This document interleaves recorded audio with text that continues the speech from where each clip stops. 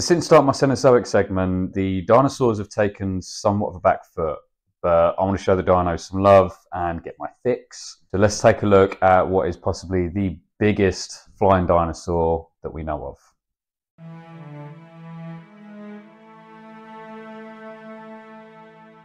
Paleontologists Kenneth Campbell and Eduardo Tonni first described this animal back in 1980 when they found material with a skull, humerus, coracoid and toe within the Epecuén Formation of Argentina.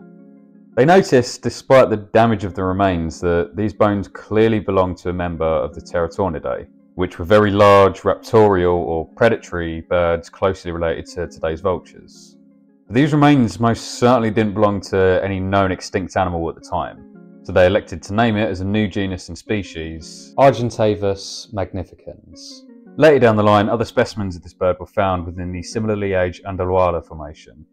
Now this bird is relatively well known at this point, partly because of its association as being one of the many creatures in Ark, but mostly because paleontologists have estimated this thing to be the largest flying bird to ever exist.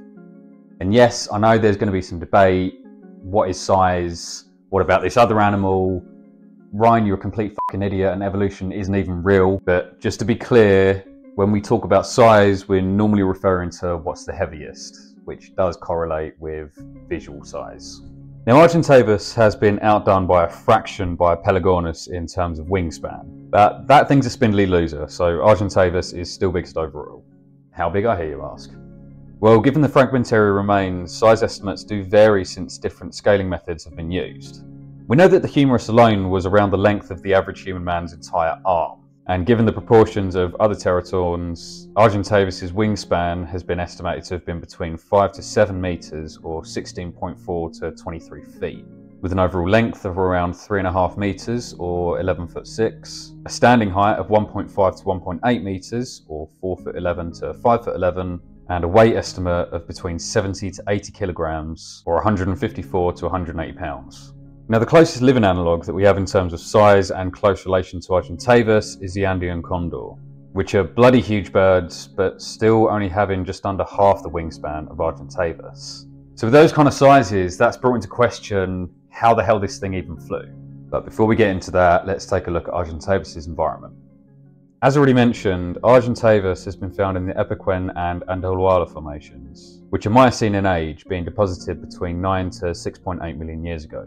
The area at the time was not one quite as rich in thick forests, instead showing aeolian deposits, which are sedimentary structures caused by wind currents as opposed to aquatic, meaning that much of the area was relatively dry and open. Fluvial deposits were also found in some places, meaning that river and stream systems were present, as well as some volcanic deposits. In short, this area wasn't too far from many of the natural landscapes that we see in Argentina today. Occupying this formation alongside Argentavis were other avian dinosaurs, such as the infamous terrorbirds that were so prevalent in South America at the time. We also see smaller reptiles, like Tupinambis, and various turtles, as well as amphibians such as Lepidopterus, and the dominating vertebrates, mammals. These include various marsupials from Pulci Polydolopimorphs, and opossums.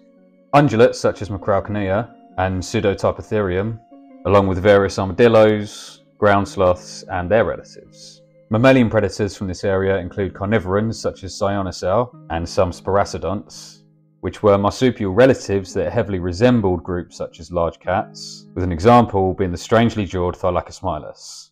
So where did Argentavis fit into all of this? Well, as a flying raptor, it's estimated that this giant bird had a territorial range of around 200 square miles, but it's been heavily questioned whether this was even a predator.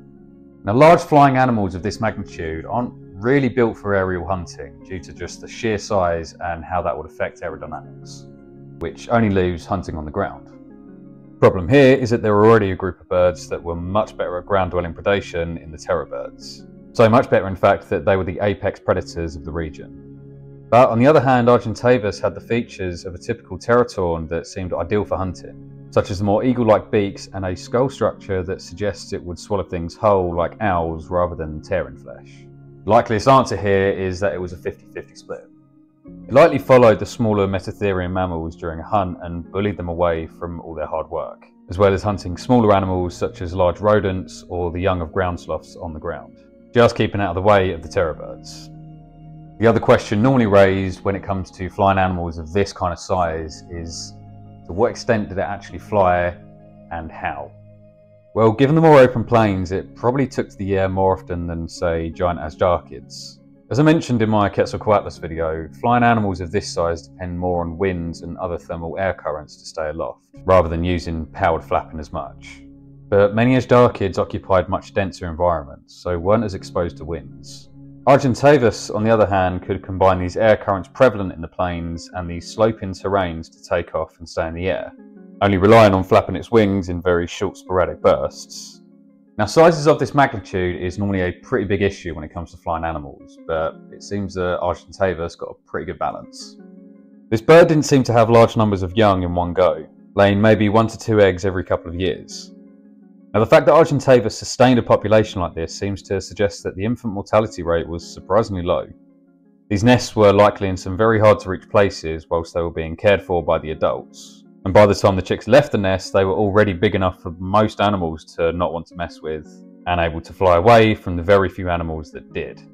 As a result, it's likely that not much killed Argentavis other than disease or old age. And just to disappoint the ARK fans out there, no, you could not ride it. It had a hard enough time getting up into the air without some lardy human parking its sweaty balls in its back. But other than that crushing disappointment, what did you think of this look into Argentavis? Tell all down in the comments, and if you'd like me to look further into any more flying giants, be sure to let me know as well. Catch you guys next time.